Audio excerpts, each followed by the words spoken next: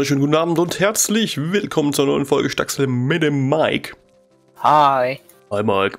Ähm, ja, ich muss mir jetzt erstmal angucken, Hallo. was ich hier bei dem Museum verbrochen habe als Eingangsbereich, aber ich glaube, ich habe gar nicht so schlimm was verbrochen. Das sieht ja ganz gut aus. Ich glaube, das werden wir auch genau so lassen. Also, äh, ein bisschen was müssen wir noch machen. Unter anderem hätte ich gern da hinten noch schwarzen Stein dazwischen, weil da. Doch, hätte ich gern. Äh, Ja, ja, schon, aber. Was denn? Du, du kennst ja diesen, diesen Herd da, ne? Mhm. Diesen. Küchenherd. Ja, den ganz normal mit der Pfanne drauf. Nee, nicht mit Pfanne drauf, sondern diesen moderneren. Mm, ja, der so, so wie so Gasplatten oben drauf hat. Mhm. Ja.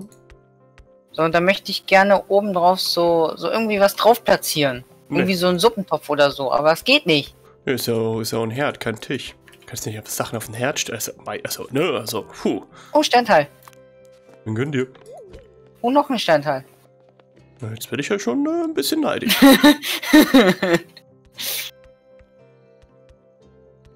So, ähm, ja. wieso fehlen unter Ria Fragezeichen vier Blöcke?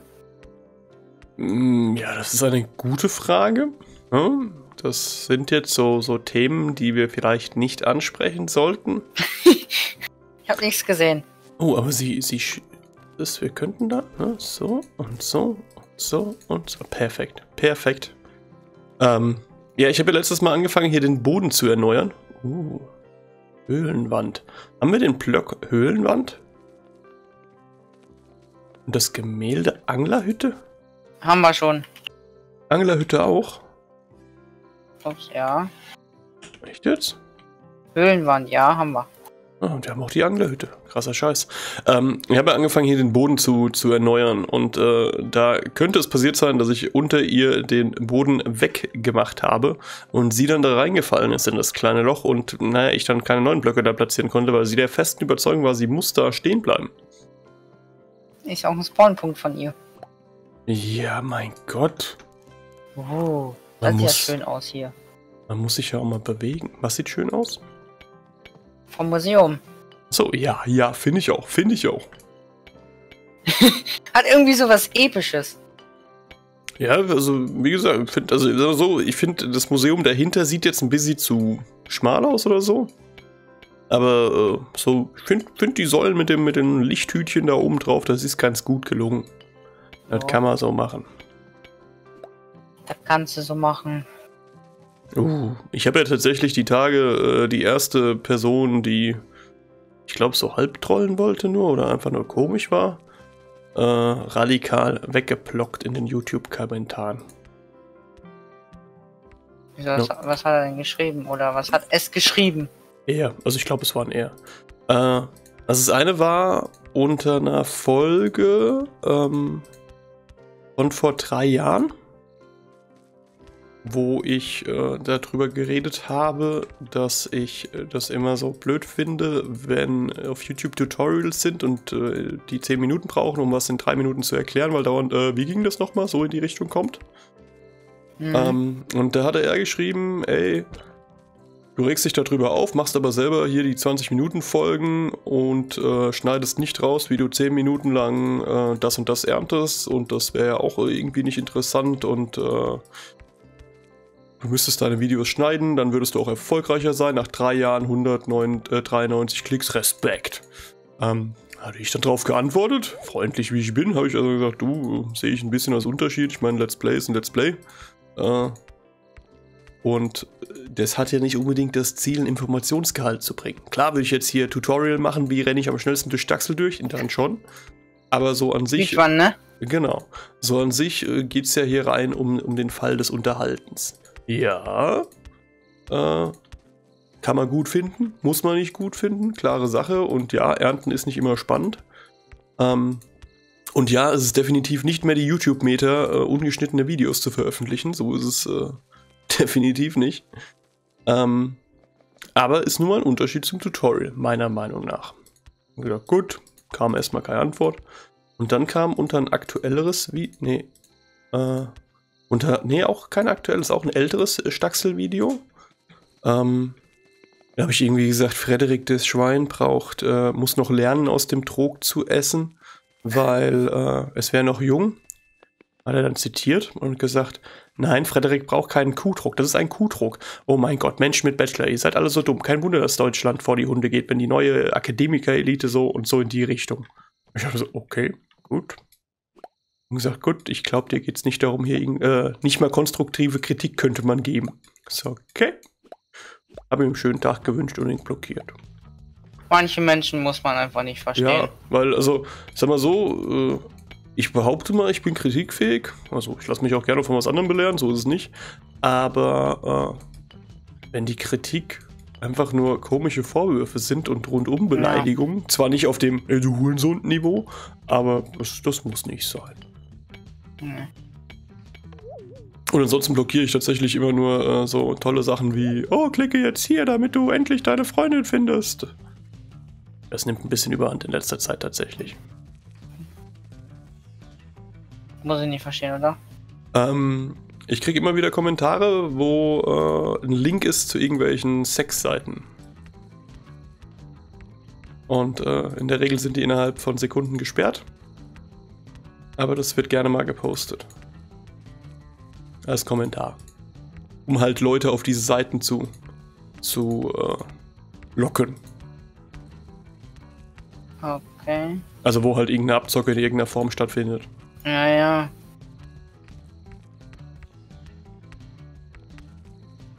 Und ich äh, solche Menschen nie, ey. Ich find's halt immer krass, dass sowas, äh, dass man damit Geld verdienen kann. Also das ist wie, wie dieser Scam, ähm, keine Ahnung, jetzt fällt mir nichts ein. Der Enkeltrick, so nach dem Motto, hey, deine Enkel sind im Krankenhaus, äh, brauchen 20.000 Euro, um die Rechnung zu bezahlen. Mhm. Äh, wir sind in fucking Deutschland, hier ist man krankenversichert. Ja, einiges wird nicht von der Krankenkasse übernommen, keine Frage. Aber, äh, und es funktioniert verdammt gut. Ähm, und gut, wenn es um 20.000 geht, das machst du zweimal im Jahr, da hast du ein gutes Jahresgehalt. Oder auch dieses so, ich bin der Prinz aus Samunda, ich will Ihnen tausend Millionen vererben. Das, äh, Sie müssen mir nur 1000 Euro schicken, damit Sie, äh, wegen der Überarbeitungsgebühren. Du musst ihm Geld schicken, damit du mehr Geld kriegst. Genau, genau. Also ich meine, gut, so verdient man in der Regel Geld, man investiert Geld und kriegt dadurch mehr Geld. Okay, kann ich ja noch akzeptieren. Aber, äh, Das war tatsächlich auch, als ich damals meine erste Wohnung gesucht habe, war das auch äh, die Angebote, die super günstig und super schön waren. Da war dann oft so, ja, ich habe die Wohnung gekauft für meine Tochter, also auf schlechtem Englisch alles, ähm, die da studiert hat in Stuttgart, aber jetzt brauche ich das nicht mehr, äh, deswegen vermiete ich die jetzt. Und denkst mir, bei der, beim ersten Mal sowas lesen, denkst du, okay, who cares, passt, ja. Ähm, und dann kommt äh, als nächstes, ja, ich bin aber gerade in London, weil ich lebe in London. Denkst du auch noch so, okay, I don't care. Ähm, und dann kommt, ja, ich würde Ihnen den Schlüssel zusenden, ich bräuchte nur eine Kaution in Höhe von 600 Euro äh, oder von 1000 Euro. Dann äh, können Sie sich die Wohnung angucken. Und er ist, ah ja, yeah.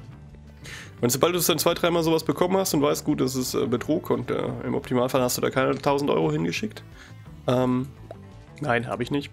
Ähm, dann klickst du schon so auf so Anzeigen, eigentlich nur in der Hoffnung, so eine E-Mail zurückzubekommen. Das Beste ist, wenn du dann auf die E-Mail mhm. antwortest, kriegst du einfach standardisiert, egal was du antwortest. Ich habe denen schon geschrieben, ich liebe sie. Ich habe denen schon geschrieben, ich hasse sie und was es ihnen denn bringt. Ähm, kommt standardisiert äh, nur zurück, die nächste E-Mail in dieser Reihe halt. Und äh, da verstehe ich ja noch irgendwie, dass wenn man eine Wohnung sucht und äh, das Ganze noch nicht so kennt, drauf reinfällt, okay. Weiß ich nicht. Aber äh, ist mal alles, alles krass.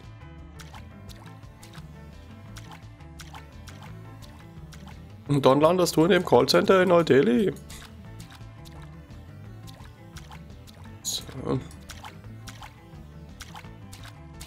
Zum Beispiel äh, bei uns im Bekanntenkreis gibt es einen älteren Mann, der äh, hat keine Frau mehr und der hat jetzt äh, in Zeitungen Annoncen gesetzt.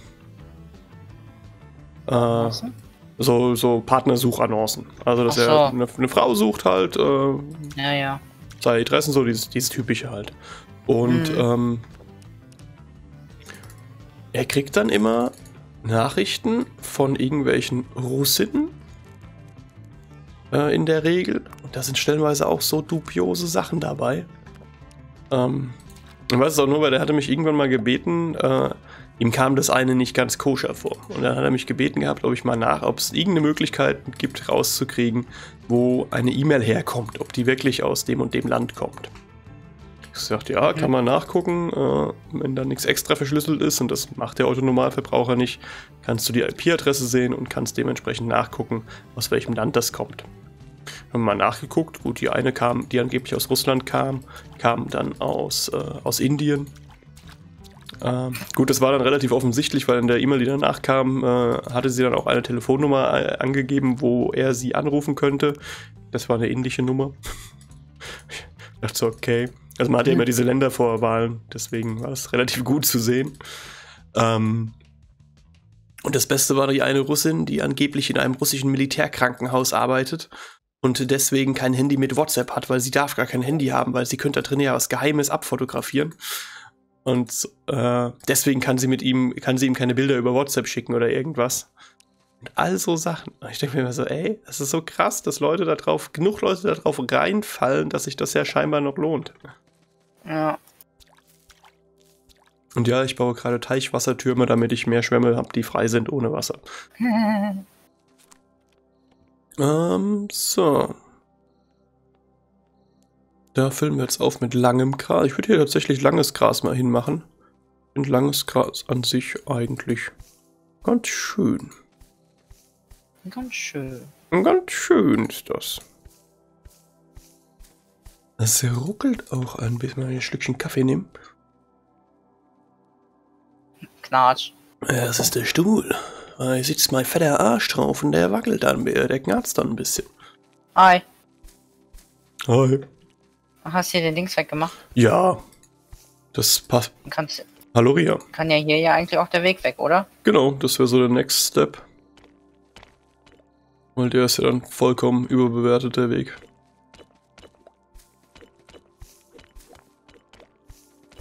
Ja. Guck mal hier, alles schön, Lampe. schön vollkloppen. Es gibt keine anderen Straßenlaternen, oder? Oder doch, es gab im, im Winterfest gab es diese asiatischen, oder? Ja, aber die, kost, die hast du nur bekommen, wenn du diese Kojoten da, äh, Die Kois. Gen- ja, die Kois. Ähm, Die, die Fische gefangen hast. die Fische. Ähm, Die Fische. die können wir auch nicht online kaufen, oder? Nee, das wäre, glaube ich, äh, ein bisschen komisch dann. Konnte man ja vorher, dass man diese kaufen konnte. Ja. Jetzt kann man es leider nicht mehr, weil sie es irgendwie rausgenommen haben. Hast du noch einen Block von diesen weißen hier?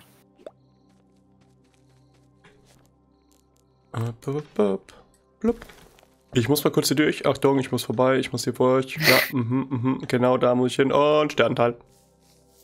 Ähm. Ja. Also ich würde tatsächlich auch. wirklich durch. Hier, ich musste zum Sternteil. Ich würde tatsächlich Mhm. auch äh, dem ganzen Dorf nach und nach diesen weißen Weg jetzt bringen. Willst du den auch haben bis zu dir? Nee, Oder- ich lasse hier den Weg. Okay, Auch hier zwischendurch lasse ich den Weg. okay.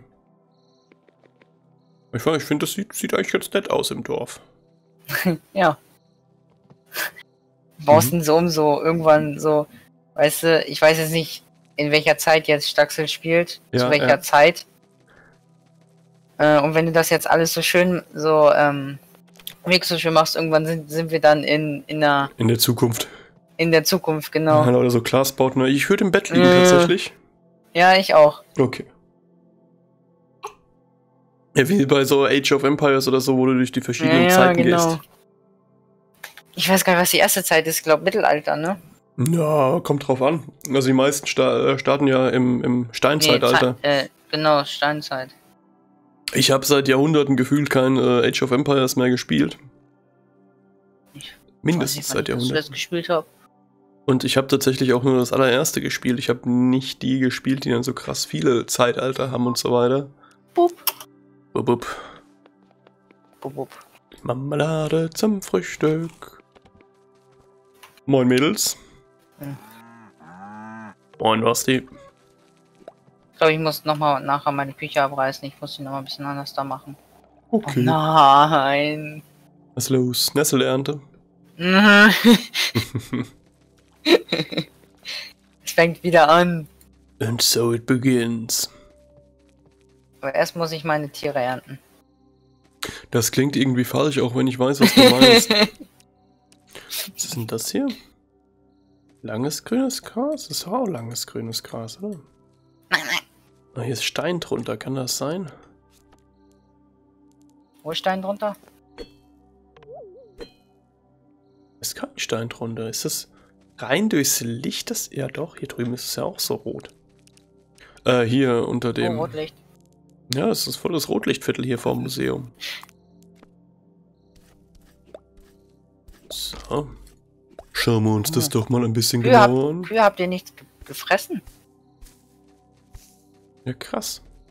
Das Licht macht hier ultra viel aus. Das ist das Herbstlicht. Ja, Auch kein Platz im Inventar, ne? Das ist natürlich bescheiden. Kenne ich nicht das Gefühl. Glaube ich dir. Aufs Wort. War genau da nochmal eins gelandet. Also gut, nicht genau da, das andere war ja da und nicht da, aber ähm, also. Ja, genug. rate mal, wie viel, wie viel Kacke ich gerade habe. Das sind so Fragen, die einfach nur strange sind. Von den Tieren. Das Dumm, macht's meine ich. äh, das ist schon besser. Äh, ich würde sagen, du hast 372. Uh -uh. 12. 704 734. Oh, du kannst bald hier Stacks voller Kacke verkaufen. 735? Äh, bup, bup, bup. Oh, Bacon, nice. würde ich tatsächlich trotzdem noch gerne die Bäume hinstellen. Ich bin mir aber nicht mehr sicher. Ich meine, aus Dung, aka Kacke und Eicheln hätten wir äh,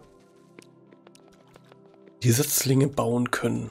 Da müssen wir jetzt aber mal, müssen wir mal eine Runde schauen gehen.